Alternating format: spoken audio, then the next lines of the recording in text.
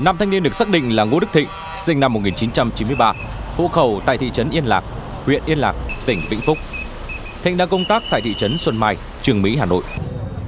Theo cơ quan chức năng, vào khoảng 21 giờ ngày 9 tháng 6, Thịnh và người bạn đi cùng di chuyển lên cầu Nhật Tân để bay flycam.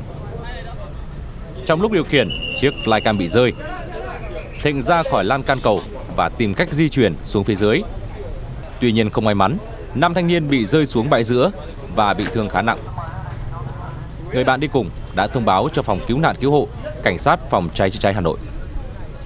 Đầu tiên là chúng tôi điều ờ, phòng số 6 xuống để xem tình hình trước.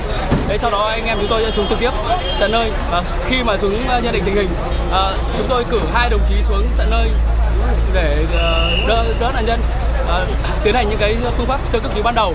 Đấy, và sau đó thì đưa nạn nhân vào cáng rồi dùng những biện pháp để chúng tôi kéo nạn nhân lên.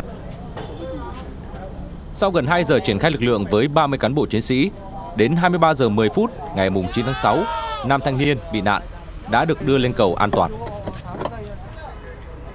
Trước mắt là mới ờ, nẹp cố định cổ vì ờ, nạn nhân là ngã từ độ cao 15 mét xuống. Thì sơ bộ là có những cái tổn thương ấy thì trước mắt là chỉ xử trí ở tại hiện trường là như thế thôi.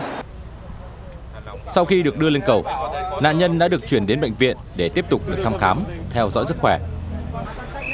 Tuy nhiên, việc nhiều người dân hiếu kỳ tập trung đông trên cầu Nhật Tân đã khiến đoạn đường này bị tắc nghẽn trong một thời gian dài.